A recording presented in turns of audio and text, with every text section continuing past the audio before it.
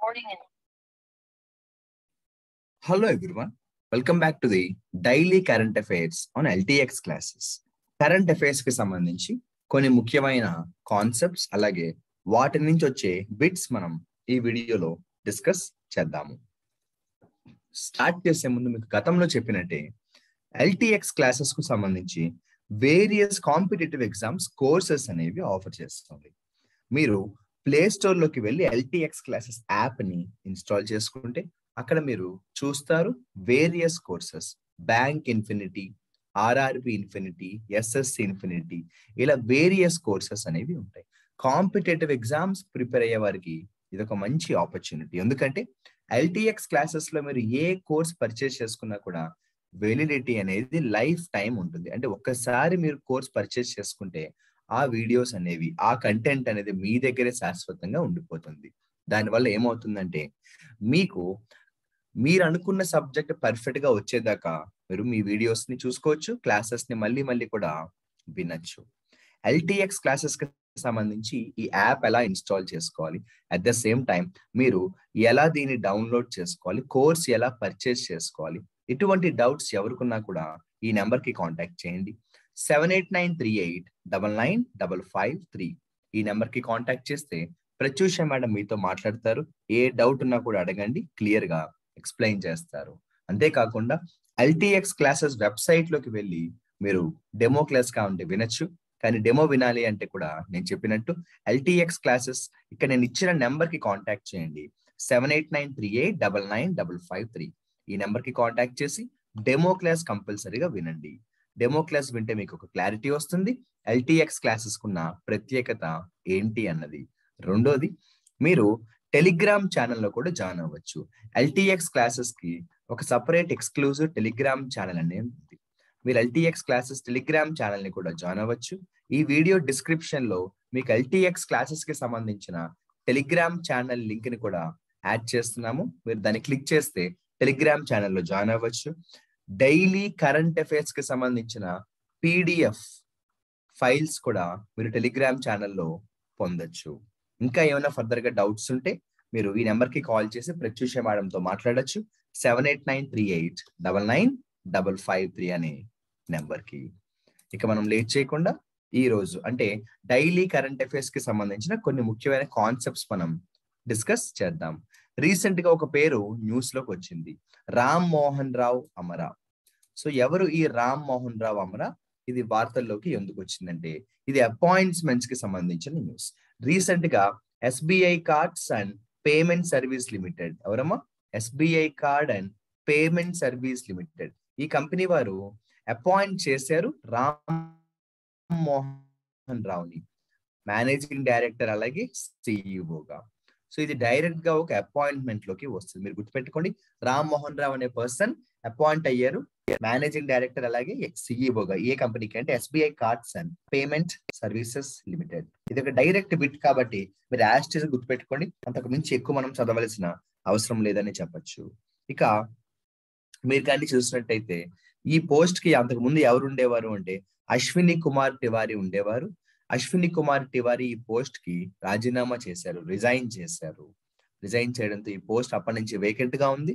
రీసెంట్గా రామ్ మోహన్ రావు ఈ పోస్ట్కి అపాయింట్ అయ్యారు. అయితే ఈ ఎస్బీఐ కార్డ్ అనే సంస్థ ఎప్పుడు ఎస్టాబ్లిష్ అయింది అంటే నైన్టీన్ నైన్టీ ఎయిట్ అక్టోబర్లో ఎస్టాబ్లిష్ అయింది. ఎస్బీఐ కార్డ్ హెడ్ క్వార్టర్స్ మనకి హర్యానాలో ఉంది గురుగ్రామ్లో సో ఇప్పుడు నేను చెప్పిన ఈ కాన్సెప్ట్కి సంబంధించి బిట్స్ మీరు మీ రన్నింగ్ నోట్స్లో ఏం రాసుకోవాలో చెప్తాను. డైరెక్ట్గా మీరు point number one రాసేసుకోవచ్చు. Ram Mohan Rao appointed as MD and CEO for SBI card. ఇది bit number one. Bit number two. ఈ ఎస్బిఐ కార్డ్కి సంబంధించి అశ్విని కుమార్ తివారీ మాజీ ఎండిఎన్ సిఇఓ ఇక బిట్ నెంబర్ త్రీ రాసుకోండి. ఈ ఎస్బిఐ కార్డ్ అనేది నైన్టీన్ నైన్టీ ఎయిట్లో ఎస్టాబ్లిష్ అయింది. Bit number four SBI card headquarters వచ్చి హర్యానా గురుగ్రామ్లో ఉంది. See this is very important ఎప్పుడు కూడా కరెంట్ అఫైర్స్ అనేవి మనం కాన్సెప్ట్ చదువుకుంటూ బిట్స్ని మనం సొంతంగా తయారు చేసుకోవాలి కానీ మనం డైరెక్ట్గా బిట్స్ చదివితే ఇన్ కేస్ ఏమైనా కాన్సెప్ట్కి సంబంధించి క్వశ్చన్ వచ్చినప్పుడు మనం ఇబ్బంది పడతాము.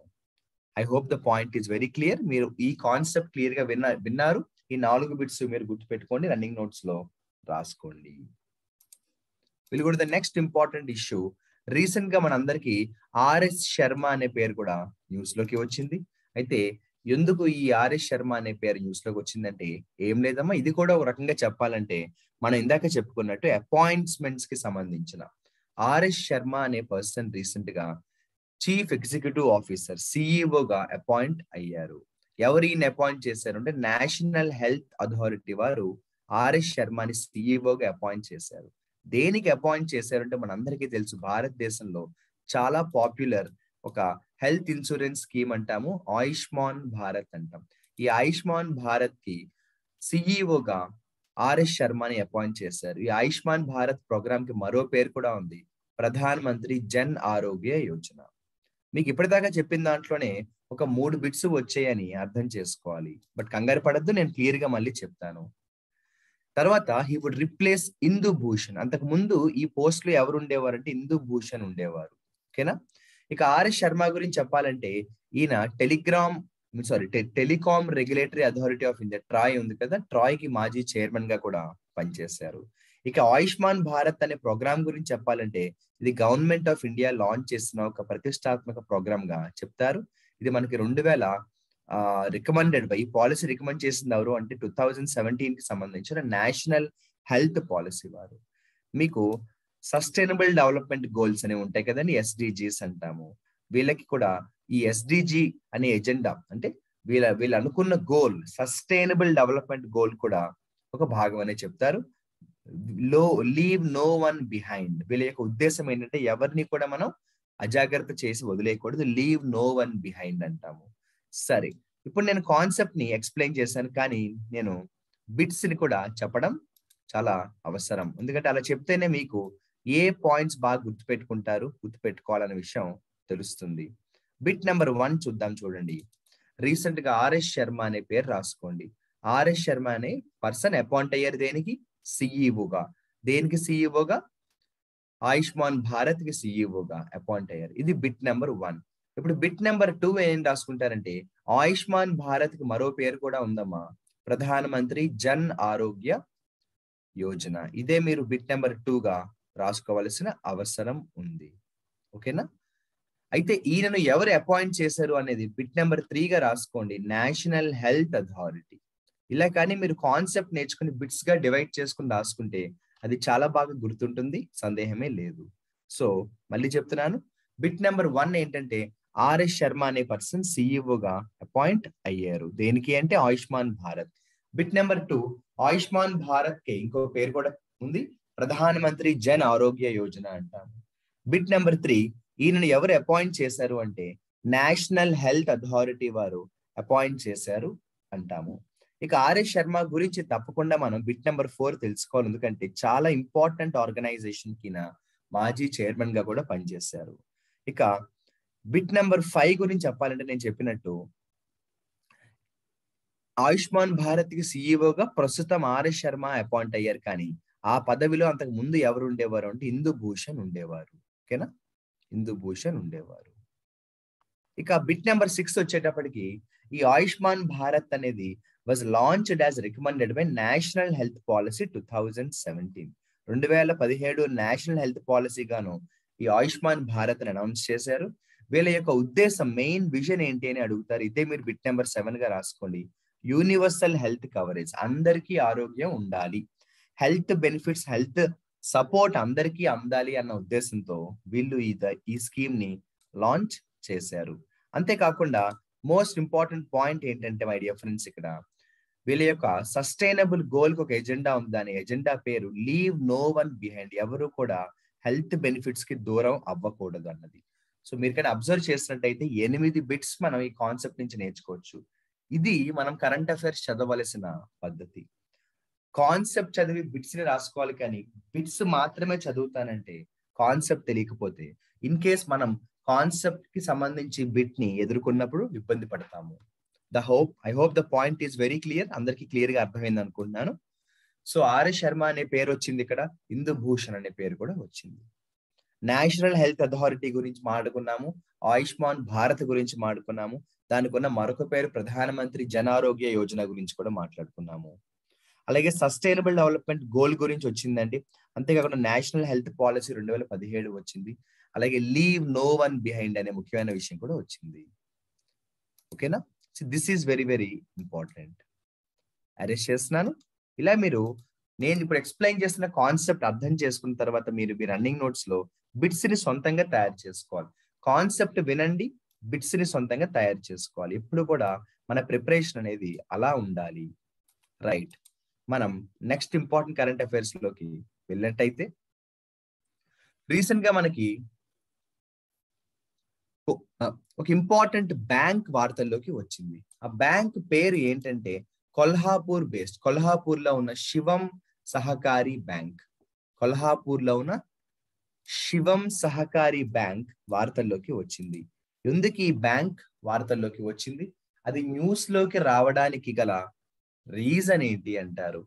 రిజర్వ్ బ్యాంక్ ఆఫ్ ఇండియా ఏం చేసిందంటే ఈ శివం సహకారి శివం సహకారి బ్యాంక్ యొక్క లైసెన్స్ని రద్దు చేసింది.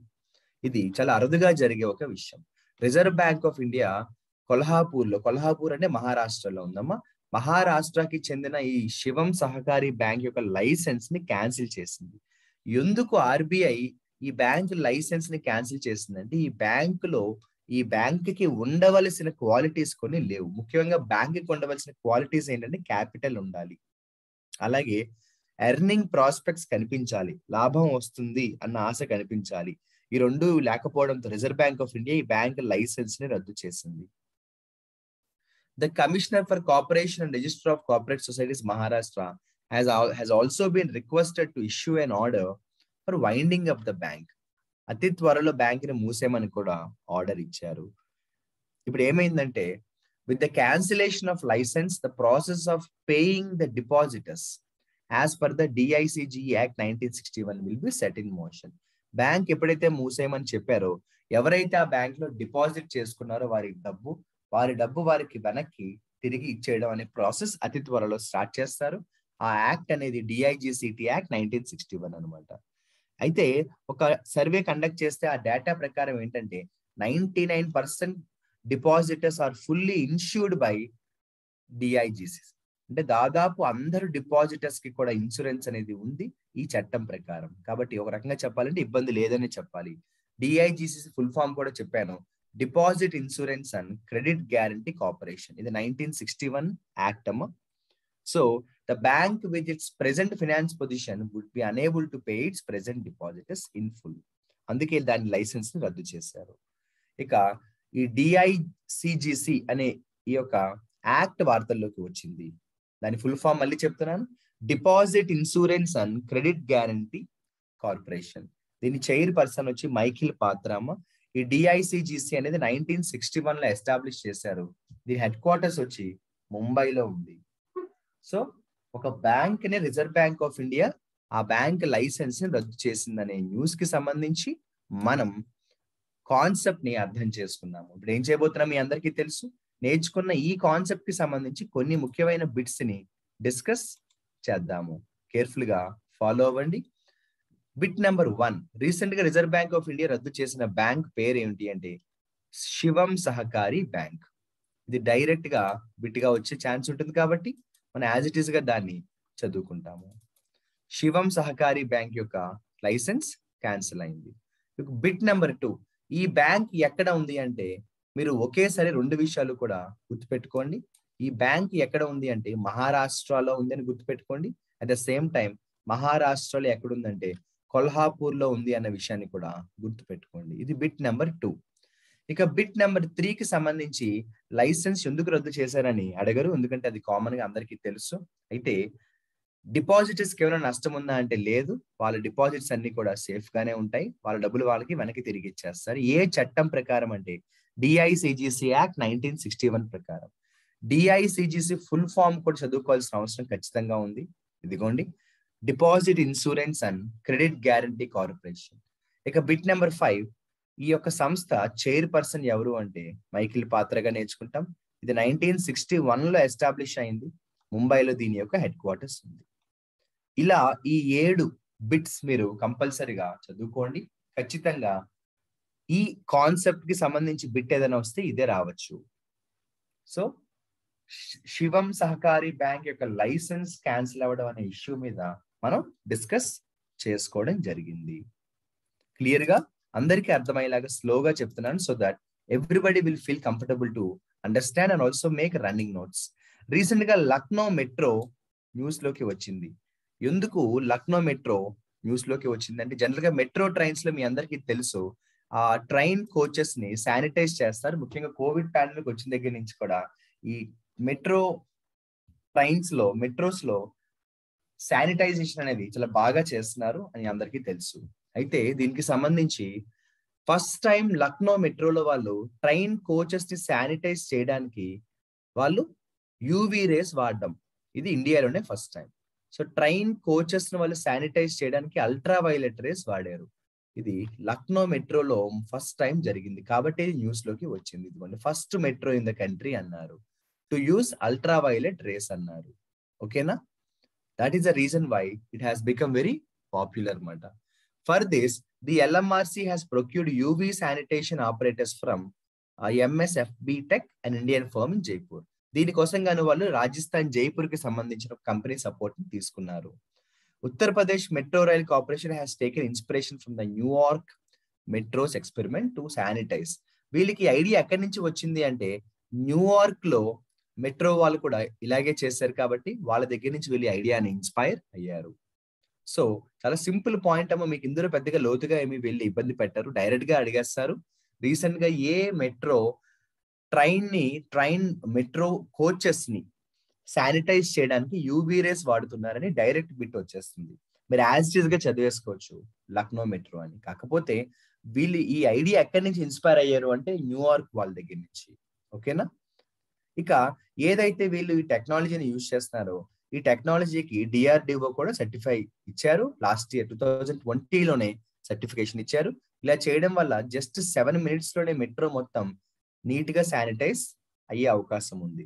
ముఖ్యంగా బ్యాక్టీరియా ఫ్రీ శానిటైజేషన్కి ఇది ఒక మంచి అవకాశంగా చెప్తారు. This same operators which was also used by medical industry to sanitize cinema halls అలాగే medical equipment at the peak of corona virus pandemic ఏదైతే వీళ్ళు టెక్నాలజీ ఇప్పుడు వాడుతున్నారు యూవీ రేస్ వాడుతున్నారో మనకి సినిమా హాల్స్కి కూడా అదే వాడతారు. ముఖ్యంగా కోవిడ్ పాండమిక్ ఎక్కువ భయంకరంగా ఉన్నప్పుడు దీన్నే వాడారు. ఈ ఆపరేటర్స్ ఒక అడ్వాంటేజ్ ఉంటుంది. ఇది switch on switch off button కూడా ఉంటుంది రిమోట్ కూడా ఉంటుంది. ఇలా ఈ ఆపరేషన్కి చాలా మనీ కూడా కంపారిటివ్గా తక్కువే ఖర్చు అవుతుందట. ఓకే? సందర్భం వచ్చింది కాబట్టి మీకు తెలిసినా కూడా ఉత్తరప్రదేశ్ క్యాపిటల్ లక్నో అని తెలుసు గవర్నర్ మనందరికీ తెలుసు ఏ పటేల్ అలాగే present chief minister Yogi Adityanath. So ఇప్పుడు చెప్పిన ఈ కాన్సెప్ట్కి సంబంధించి లోతుగా వెళ్ళి చదువుకోవాల్సిన అవసరం లేదు బికాస్ మీరు చాలా బేసిక్ పాయింట్స్ చదువుకుంటే సరిపోతుంది. అయినా కూడా ఒకసారి నేను పాయింట్స్ని రిపీట్ చేస్తూ ఉంటాను. దానివల్ల మీకు ఈజీగా will find it very comfortable మీకు కంఫర్టబుల్గా కూడా అర్థం అవుతుంది చెప్పొచ్చు. బిట్ నెంబర్ వన్ ఏంటంటే which metro recently launched UV rays sanitize the train coaches Lucknow metro వీళ్ళు ఏ కంపెనీ సపోర్ట్ తీసుకున్నారు అంటే రాజస్థాన్కి సంబంధించిన ఎఫ్బి టెక్ కంపెనీ వాళ్ళ సపోర్ట్ వీళ్ళు తీసుకోవడం జరిగింది. వీళ్ళకి ఐడియా ఎక్కడి నుంచి వచ్చింది అంటే న్యూయార్క్ మెట్రో నుంచి వీళ్ళకి ఐడియా వచ్చింది. వాళ్ళు కూడా యూవీ ల్యాంప్ రేస్ని వాడుతున్నారు. ఈ మూడు పాయింట్స్ మాత్రం చదువుకోండి అంతకు మించి అవసరం లేదు. సందర్భం వచ్చింది కాబట్టి నాలుగో పాయింట్ చదువుకోండి. ఉత్తరప్రదేశ్ గవర్నర్ ఎవరు అంటే ఆనందిబేన్ పటేల్. చాలు. ఈ ఫోర్ పాయింట్స్ చదువుకోండి ఖచ్చితంగా మీరు వీటిని ఆన్సర్ చెయ్యగలరు. అయితే చదువుకోవడం అంటే మీరు ఏం చేయాలి ఇప్పుడు? నేను ఈ పాయింట్ ఎక్స్ప్లెయిన్ చేశాను నెంబర్స్ కూడా మీకోసం క్లియర్గా రాశాను. మీరు వీడియో పాజ్ చేసేసుకోండి ఇప్పుడే. పాజ్ చేసుకుని నేను చెప్పిన ఈ ఫోర్ పాయింట్స్ని షార్ట్ కట్స్లో మీ బుక్లో రాయండి. చూడకుండా రాయడానికి ట్రై చేయండి. అంటే చూడకుండా రాస్తే మీకు గుర్తుండిపోతుంది. వింటున్నంత సేపు గుర్తున్నట్టు అనిపిస్తుంది. కానీ నిజంగా మీకు గుర్తుండాలంటే మాత్రం నేను చెప్తున్న ఈ పాయింట్స్ మీరు చూడకుండా రాయడానికి ట్రై చేయండి. రైట్ రీసెంట్గా మనందరికీ తెలుసు ఒక బర్డ్ శాంక్చురీ న్యూస్లోకి వచ్చింది. దాని పేరు కూడా చాలా పాపులర్ గానే చెప్తా మనం. కిజడియా బర్డ్ శాంక్చురీ అంటారు. ఈ కిజడియా బర్డ్ శాంక్చురీ న్యూస్లోకి రావడానికి రీజన్ ఏంటంటే ఇది యాక్చువల్లీ గుజరాత్లో ఉందమ్మా జామ్నగర్లో ఇది న్యూస్లోకి ఎందుకు వచ్చిందంటే ఈ యొక్క బర్డ్ శాంక్చురీ కాదు మరొక ముఖ్యమైన బర్డ్ శాంక్చురీ కూడా న్యూస్లోకి వచ్చింది. ఒకటేమో కిజడియా బర్డ్ శాంక్చురీ వార్తల్లోకి వస్తే ఇంకోటి బకీరా వైల్డ్ లైఫ్ శాంక్చురీ కూడా వార్తల్లోకి వచ్చింది. రెండు కూడా న్యూస్లోకి వచ్చాయి. ఒకటేమో కిజడియా బర్డ్ శాంక్చురీ న్యూస్లోకి వచ్చింది. ఇంకోటి బకీరా వైల్డ్ లైఫ్ శాంక్చురీ కూడా మనకి న్యూస్లోకి వచ్చింది. అయితే ఈ కిజడియా అనేది గుజరాత్లో ఉందమ్మా జామ్నగర్లో ఉంది. బకీరా వైల్డ్ లైఫ్ శాంక్చురీ ఉత్తరప్రదేశ్లో ఉందన్న విషయాన్ని మర్చిపోద్దు అయితే ఇవి ఎందుకు న్యూస్లోకి వచ్చాయంటే they have been listed as wetlands of international importance. మనకి రామ్సార్ కన్వెన్షన్ గురించి చదువుకుంటూ ఉంటాము. జాగ్రఫీలో కూడా వస్తుంది స్టాక్ జీకేలో కూడా వస్తుంది. రామ్సార్ కన్వెన్షన్ గాను వెట్లాండ్స్ ఆఫ్ ఇంటర్నేషనల్ ఇంపార్టెన్స్లోకి ఈ రెండు వైల్డ్ లైఫ్ శాంక్చురీస్ వచ్చేసాయి అనమాట it is very very very important అని మనం అర్థం చేసుకోవచ్చు. సో రామ్సార్ కన్వెన్షన్లోకి ఇవి వచ్చాయి. అలాగే ఇంటర్నేషనల్ ఇంపార్టెన్స్ అనే కేటగిరీలోకి ఇవి వీటిని చేర్చారు. ఒకసారి మళ్ళీ చెప్తున్నాను. కిజడియా ఏమో మనకి గుజరాత్లో ఉందండి జామ్నగర్లో బకీరా ఏమో ఉత్తరప్రదేశ్లో ఉంది. ఇప్పుడు ఈ రెండు కూడా ఈ కేటగిరీలోకి చేరడంతో మనకి ఇప్పటిదాకా total number of Ramsar sites ఎన్ని అయిపోయాయి అంటే ఫార్టీ నైన్కి వచ్చేసింది ఆ నెంబర్ అనమాట ఇక Khijadiya has become the fourth wetland of Gujarat అండి. గుజరాత్ నుంచి ఈ రామ్సార్ సైట్ కేటగిరీలోకి చేర్చబడిన నాలుగో వెట్లాండ్గా చెప్తారు. ఈ రామ్సార్ ట్యాగ్ సంపాదించిన నాలుగో వెట్లాండ్ గుజరాత్ లోంచే వచ్చిందనమాట అంతేకాకుండా మీరు కానీ ఇతరితర రామ్సార్ సైట్స్లో ఏమున్నాయి సార్? మాకు రెండు మూడు ఎగ్జాంపుల్స్ చెప్పండి అంటే చూడండి. నాల్ సరోవర్ బర్డ్ శాంక్చురీ కూడా ఇందులోకి వచ్చిందండి. తోల్ వైల్డ్ లైఫ్ శాంక్చురీ వచ్చింది. వాధ్వానా వెట్లాండ్ కూడా ఇందులోకి వచ్చింది. The last two were included in the last year April ఇప్పుడు నేను చెప్పిన ఈ రెండు కూడా మనకి లాస్ట్ టూ కూడా లాస్ట్ ఇయర్ ఏప్రిల్లోనే చేర్చారు. సో బిట్ నెంబర్ వన్ మీరు ఒక పని చేయొచ్చు. వైల్డ్ లైఫ్ శాంక్చురీస్ పేరుతో కాకుండా మీరు ఒక పని చేయండి. రామ్స్టార్ సైట్స్ అని హెడ్డింగ్ పెట్టుకోండి. ఇదే మీరు బిట్ నెంబర్ వన్గా రాసుకోండి. బిట్ నెంబర్ వన్ ఏంటంటే రీసెంట్గా రామ్సార్ సైట్స్ వార్తల్లోకి వచ్చాయి. ఇప్పటిదాకా టోటల్గా ఎన్ని రామ్సార్ సైట్స్ ఉన్నాయంటే ఇదే బిట్ నెంబర్ వన్గా రాసుకోండి. ఫార్టీ నైన్ రామ్సార్ సైట్స్ వచ్చాయి. సడన్గా ఇప్పుడు మనం దీని గురించి ఎందుకు మాట్లాడుకుంటున్నాము అన్నది బిట్ నెంబర్ టూ గా రాసుకోండి. ఏంటమ్మా? బిట్ నెంబర్ టూ ఏంటి? ఒకటేమో Khijadiya bird life wildlife sanctuary అలాగే బకీరా వైల్డ్ లైఫ్ శాంక్చురీ కూడా వచ్చింది. అది రాసుకున్నప్పుడు మీరు రిలేటెడ్ బిట్స్ కూడా రాసేసుకోండి. Khijadiya bird wildlife bird sanctuary ఏమో మనకి జామ్నగర్ గుజరాత్లో ఉంటే బకీరా ఏమో ఉత్తరప్రదేశ్లో ఉందని రాసేసుకోండి. ఇక బిట్ నెంబర్ త్రీ. ఇప్పుడు ఎలా అయితే ఈ రెండు కూడా మనకి రామ్ రామ్సార్ సైట్స్ అంటే రామ్సార్ ట్యాగ్ని సంపాదించుకున్నాయో లాస్ట్ ఇయర్ మనకి రామ్సార్ ట్యాగ్ని సంపాదించుకున్నవి మనం రెండుగా చెప్తాము. అందులో ఒకటేమో తోల్ వైల్డ్ లైఫ్ శాంక్చురీగా చెప్తాము. అలాగే వాధ్వానా వైల్డ్ లైఫ్ శాంక్చురీగా చెప్తాము. దీన్నే మీరు బిట్ నెంబర్ త్రీగా రాసుకోండి చాలు. అంతే సరిపోయిందండి. ఈ మూడు బిట్స్ రాసుకోండి చాలు. ఏం రాసుకోవాలి మరొకసారి చెప్తున్నాను? రామ్సార్ సైట్స్ మొత్తంగా forty Ramsar సైట్స్లోకి forty nine forty nine sites ఆ కేటగిరీలోకి వచ్చాయని చెప్తారు. ఇది bit number one. Bit number two Khijadiya అలాగే బకీరా. ఇక బిట్ నెంబర్ త్రీ తోల్ అలాగే వధ్వానా. ఈ తోలు వద్వాన అనేవి లాస్ట్ ఇయర్ వచ్చాయి.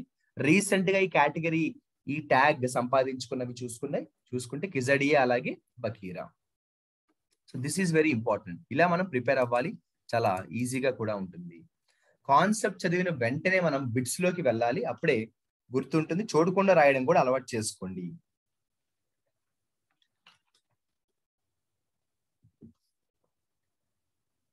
ఒక ఫేమస్ యాక్టర్ రీసెంట్గా చనిపోవడం జరిగింది. ఆయన పేరు అమితాబ్ దాయల్. అమితాబ్ దాయల్ అనే పర్సన్ రీసెంట్గా చనిపోవడం జరిగింది. ఈయన ఒక ఫేమస్ యాక్టర్ అలాగే ఫిల్మ్ మేకర్గా కూడా చెప్తారు. ఈయన హార్ట్ అటాక్తో చనిపోవడం జరిగింది. ఈయన ఏజ్ వచ్చి ఫిఫ్టీ వన్ ఈయన ఇంపార్టెంట్ ఈయన వర్క్ చేసిన ఇంపార్టెంట్ ఫిల్మ్స్ కొన్ని చెప్పాలి అంటే కాగర్ అలాగే భోజ్పూరి ఫిల్మ్స్ కొన్ని వర్క్ చేశారు. రంగదారి అలాగే రాజ్ బబ్బర్స్ ధువన్ అమితాబ్ బచ్చన్తో యాక్ట్ చేసిన విరోధ్ ఇలా కొన్ని ఇంపార్టెంట్ ఫిల్మ్స్లో ఈయన ముఖ్య పాత్ర పోషించారుగా చెప్తారు ఇది డైరెక్ట్ క్వశ్చన్ కాబట్టి ఎక్కువ మేము లోతుగా వెళ్ళవలసిన అవసరం లేదు. ఇక్కడ మీరు చూస్తున్న పర్సన్ అమితాబ్ దాయల్ రీసెంట్గా చనిపోయారు. ఓకేనా? రైట్. ఇక మనం ఇలా ఆబిచోరీస్ ఒక పర్సన్ చనిపోయినప్పుడు ఆబిచోరీస్ గురించి మనం మాట్లాడుకుంటాము. ఇదే విధంగా రీసెంట్గా ఒక ఇంపార్టెంట్ బుక్ పేరు వార్తల్లోకి వచ్చింది. ఆ ఆధర్ పేరుతో మొదలు పెడుతున్నాను. ఆ ఆధర్ పేరు ఆకాష్ కన్సాల్ అంటాము. రీసెంట్గా వార్తల్లోకి వచ్చిన ఆ ఆదర్ ఎవరమ్మా ఆకాష్ కన్సాల్. ఎవరి ఆకాష్ కన్సాల్? ఆకాష్ కన్సాల్ అనే ఆదర్ ఏ బుక్ రాశారు? రీసెంట్గా ఇండియాకే మొట్టమొదటి సీజన్ స్టైల్ బుక్ రాశారు ఆకాష్ కన్సాల్. ఆ బుక్ పేరేంటో చూడండి. The class of two thousand sixteen sneak peek into the misadventure sneak peek into the misadventures of the great Indian engineering life ఈయన ఒక మేనేజ్మెంట్ ప్రొఫెషనల్ ఆకాష్ కన్సాల్ అనే పర్సన్ ఒక మేనేజ్మెంట్ ప్రొఫెషనల్ ఆయన రాసిన బుక్ పేరు the class of two thousand six ఇది ఇండియాకి first time season style బుక్గా చెప్తారు. ఈ బుక్ని వర్చువల్గా లాంచ్ చేసింది ఐఐటి కాన్పూర్. ఓకేనా? ఇక ఈ బుక్లో కానీ మనం చూసినట్టయితే పద్దెనిమిది ఎపిసోడ్స్ ఉంటాయి. కాలేజ్ డేస్కి సంబంధించిన పద్దెనిమిది ఎపిసోడ్స్ ఉంటాయి అన్నమాట అంతేకాకుండా ఈ బుక్ అమెజాన్ కిండిల్లో రిలీజ్ చేశారు ఆర్ మాధవన్. మనకందరికీ తెలిసిన యాక్టర్. ఇక దీనికి సంబంధించి ఎక్కువ అవసరం లేదు. మీరు ఇప్పటిదాకా చెప్పిన డైరెక్ట్ బిట్ నే లాంచెస్ డైరెక్ట్ బిట్నే స్టడీ చేసుకోండి. బిట్ నెంబర్ వన్ కూడా చెప్తున్నాను మీకు ఈజీగా ఉండడానికి. ఇండియాకే first time season style book ఎవరు రాశారు అంటే డైరెక్ట్ రాసేసుకొని ఆకాష్ స్టైల్ ఆకాష్ కన్సల్. ఈయన రాసిన బుక్ పేరు ఇక్కడ? నెంబర్ టూ గా రాస్తున్నాను. The class of two thousand six అంతకు మించి అవసరం లేదు. ఓకేనా? ఎందుకంటే బుక్ అండ్ ఆథర్ డైరెక్ట్గా వస్తుంది. కాకపోతే ఈ బుక్లో ఎన్ని ఎపిసోడ్స్ ఉంటాయని అడగరు. అదంత ఇంపార్టెంట్ విషయం కాదనే చెప్పొచ్చు. As as far as a competitive exams are concern కాబట్టి డైరెక్ట్గా మీరు ఆ బుక్ పేరు చదువుకోండి. బుక్ పేరు మొత్తంగా గుర్తుపెట్టుకోండి. ఎందుకంటే పెద్ద నేమ్ ఇది. The class of two thousand six అని ఉండి sneak peek into the misadventures of the great Indian engineering life ఓకేనా రైట్ యాజ్ ఇట్ ఈస్గా మీరు ఈ పాయింట్స్ గుర్తుపెట్టుకోండి. బుక్స్ అండ్ ఆథర్స్గా మనం ఎప్పుడు కూడా ఇటువంటి బిట్స్ని నెగ్లెక్ట్ చేయకూడదు. మీరు ఇక్కడ చూస్తున్న ఫోటోగ్రాఫ్ ఆ బుక్కి సంబంధించిన ఫోటోగ్రాఫ్ అంటే ఆయన కాలేజ్ రోజుల్లో గుర్తు తెచ్చుకుంటూ ఆయన ఈ బుక్ రాశారు. ఎయిటీన్ ఎపిసోడ్స్గా రాశారు దాన్ని. రైట్ ఇక రీసెంట్గా కేలో ఇండియా స్కీమ్ అనే చాలా ఫేమస్ స్కీమ్ మళ్ళీ న్యూస్లో చదువుకోవాల్సి వచ్చింది. ఎందుకు కేలో ఇండియా స్కీమ్ వార్తల్లోకి వచ్చిందంటే గవర్నమెంట్ ఆఫ్ ఇండియా ఈ కేలో ఇండియా ప్రోగ్రామ్ని కంటిన్యూ చేద్దామని డిసైడ్ చేశారు. Fifteenth finance commission cycle two thousand twenty one twenty two నుంచి two thousand twenty five twenty six దాకా. ఈ ప్రోగ్రామ్ని లాంచ్ కంటిన్యూ చేద్దాం ఆపకుండా కంటిన్యూ చేద్దామని అనౌన్స్ చేశారు. దీనికి అయ్యే బడ్జెట్ సుమారుగా మూడు వేల కోట్లు. అదే చెప్పారు చూడండి the government has decided to continue the scheme of Khelo India national programme for development of sports over the fifteenth finance commission. ఓకేనా? అయితే కేలో ఇండియా స్కీమ్కి ఏదైతే బడ్జెట్ అలొకేషన్ చేశారో అది సుమారుగా సగం పర్సెంట్ వరకు పెరిగింది. అంటే రీసెంట్గా రిలీజ్ చేసిన బడ్జెట్లో కేలో ఇండియా స్కీమ్కి అలౌట్ చేసిన బడ్జెట్ గతంతో కంపేర్ చేస్తే సగం కంటే ఎక్కువ అంటే ఆల్మోస్ట్ ఫార్టీ ఎయిట్ పర్సెంట్ పెరిగింది అనమాట అంతేకాకుండా it includes and includes it in prime minister's award scheme. ఈ కేలో ఇండియా స్కీమ్ని ప్రైమ్ మినిస్టర్స్ అవార్డు స్కీమ్లో కూడా ఇంక్లూడ్ చేశారు. అంటే భవిష్యత్తులో ఈ ఖేలో ఇండియా స్కీమ్ ద్వారా అవార్డులు కూడా ప్రకటిస్తారు. ప్రైమ్ మినిస్టర్స్ అవార్డు స్కీమ్లో పెట్టారు అంటే ఇందులో బాగా పెర్ఫామ్ చేసిన ఆటగాళ్ళను మరింత బాగా గుర్తిస్తారని అర్థం అనమాట ఇక యాక్చువల్గా ఖేలో ఇండియా స్కీమ్ గురించి చెప్పాలంటే ఇది చాలా ప్రతిష్టాత్మకంగా గవర్నమెంట్ లేదా central you know central sector వారు సెంట్రల్ గవర్నమెంట్ స్టార్ట్ చేసిన స్కీమ్ ఇది. స్పోర్ట్స్ మినిస్ట్రీ కిందకు ఈ యొక్క స్కీమ్ అనేది వస్తుంది. సందర్భం వచ్చింది కాబట్టి చెప్తాను. Ministry of youth affairs and sports ఎవరు అంటే అనురాగ్ సింగ్ ఠాకూర్గా చెప్తారు. సో నన్ను అడిగితే మీరు ఇప్పుడు నేను చెప్పిన కాన్సెప్ట్ ఎక్కువ లోతుగా చదువుకోవాల్సిన అవసరం లేదు. సింపుల్గా చదువుకోండి చాలు. జస్ట్ మూడే మూడు బిట్లు చదువుకోండి. ఏ బిట్లు చదువుకోవాలో కూడా నేను మీకు చెప్తాను. ఖేలో ఇండియా స్కీమ్ని కంటిన్యూ చేయాలి అన్నారు. ఏ ఫినాన్స్ కమిషన్ కింద అంటే ఫిఫ్టీన్త్ ఫినాన్స్ కమిషన్ కింద. బడ్జెట్ ఎంత అంటే సుమారుగా మూడు వేల కోట్లు. లాస్ట్ ఇయర్తో కంపేర్ చేస్తే ఫార్టీ ఎయిట్ పర్సెంట్ దీనికి బడ్జెట్ అనేది ఎక్కువగానే అలౌట్ చేయబడింది. అంటే స్పోర్ట్స్కి ఇంపార్టెన్స్ బాగా ఇచ్చారు అన్నది అర్థం. స్పోర్ట్స్కి ఇంపార్టెన్స్ బాగా ఇచ్చారు అన్నది దీని యొక్క మీనింగ్ అనమాట ఇక కొత్తగా చేసిన పని ఏంటంటే దీన్ని ప్రైమ్ మినిస్టర్స్ అవార్డ్ స్కీమ్లో కూడా పెట్టారు. ఇక bit number five minister of youth affairs and sports ఎవరు అంటే అనురాగ్ సింగ్ ఠాకూర్గా మనం చెప్తాము. సో యాజ్ ఇట్ ఈస్గా మీరు ఈ బిట్ని చదువుకోవాల్సిన అవసరం ఉంది. ఈ ఫైవ్ బిట్స్ మీరు డైరెక్ట్గా చదువుకోవచ్చు. రైట్ ఫ్రెండ్స్ ఇలా ఈ రోజు కరెంట్ అఫైర్స్లో మనం కొన్ని ఇంపార్టెంట్ అపాయింట్మెంట్స్ గురించి చదువుకున్నామండి. అలాగే గవర్నమెంట్ స్కీమ్స్ గురించి చదువుకున్నాము. అంతేకాకుండా ఆ ఆదర్ బుక్ గురించి చదువుకున్నాము. ఆబిచరీ గురించి చదువుకున్నాము. ఇలా డిఫరెంట్ కేటగిరీస్కి సంబంధించిన కొన్ని బిట్స్ చదువుకున్నాం రోజుకి మనం కనీసం ఒక twenty minutes thirty minutes time spend చేస్తే సరిపోతుంది. అంతకంటే ఎక్కువ అవసరం ఉండదు. ఎక్కువ బిట్స్ ఒకేసారి గుర్తు పెట్టుకోవాలని ఎప్పుడు ట్రై చేయకూడదు. కానీ ప్రతిరోజు కొన్ని విషయాలు నేర్చుకోవడానికి ట్రై చేయండి. ఉదాహరణకి నిన్న చాలా ఇంపార్టెంట్ డే ఒకటి మనం అనౌన్స్ చేసుకున్నాం వరల్డ్ క్యాన్సర్ డే అని. దానికి సంబంధించి ఒక సపరేట్ వీడియో కూడా నేను చెప్పడం జరిగింది. ఫిబ్రవరి ఫోర్త్ ప్రతి ఇయర్ కూడా. ఫిబ్రవరి ఫోర్త్ ప్రతి ఇయర్ కూడా వరల్డ్ క్యాన్సర్ డేగా ప్రకటిస్తారు. దీనికి సంబంధించి ఒక సపరేట్ వీడియో ఆల్రెడీ మన యూట్యూబ్ ఛానల్లో అప్లోడ్ అయింది. ఎవరైతే ఆ వీడియో చూడలేదు అది చూడండి. ఎందుకంటే అది కూడా కరెంట్ అఫైర్స్కి సంబంధించిన ఒక ఇంపార్టెంట్ భాగమే. సో వరల్డ్ క్యాన్సర్ డేకి సంబంధించి కొన్ని ఇంపార్టెంట్ ఫ్యాక్ట్స్ నేను ఆ వీడియోలో చెప్పడం జరిగింది. అది కూడా కరెంట్ అఫైర్స్లోకి వస్తుంది కాబట్టి మర్చిపోకుండా చూడండి. ఎవరైతే చూడలేదు. అంతేకాకుండా రీసెంట్గా నిర్మలా సీతారామన్ గారు రిలీజ్ చేసిన అనౌన్స్ చేసిన బడ్జెట్కి సంబంధించి కొన్ని ఇంపార్టెంట్ ఫ్యాక్ట్స్ నేను ఒక సపరేట్ వీడియోలో కూడా చెప్పాను. అది కూడా చూడండి అది కూడా కరెంట్ అఫైర్స్ లోకే వస్తుంది. ఇక ఈ రోజు మనం చెప్పుకున్నాం కరెంట్ అఫైర్స్ పాయింట్స్ అందరికీ అర్థమయ్యాయి అనుకుంటున్నాను. నేను కాన్సెప్ట్ ఒకటే చెప్పడం కాకుండా ఆ కాన్సెప్ట్ నుంచి మీరు మీ రన్నింగ్ నోట్స్ రాసుకోవాల్సిన బిట్స్ కూడా నెంబర్స్ వేసి మీకు ఈజీగా ఉండేలాగా చేస్తున్నాను. అందరూ ఫాలో అవుతున్నారని అనుకుంటున్నాను. అందరికీ అర్థమైందని అనుకుంటున్నాను. మీరు ఒకవేళ క్లాసెస్ కరెక్ట్గా ఫాలో అవుతున్నట్టయితే క్లాసెస్ అర్థం అవుతున్నట్టయితే చక్కగా కమెంట్ సెక్షన్లో మీ ఫీడ్బ్యాక్ కూడా పెడుతూ ఉండండి. మీరు కమెంట్స్ పెట్టడం వల్ల ఏమవుతుందంటే we will understand whether you are able to understand or not మీరు ఫాలో అవుతున్నారో లేదో క్లారిటీ ఉంటుంది.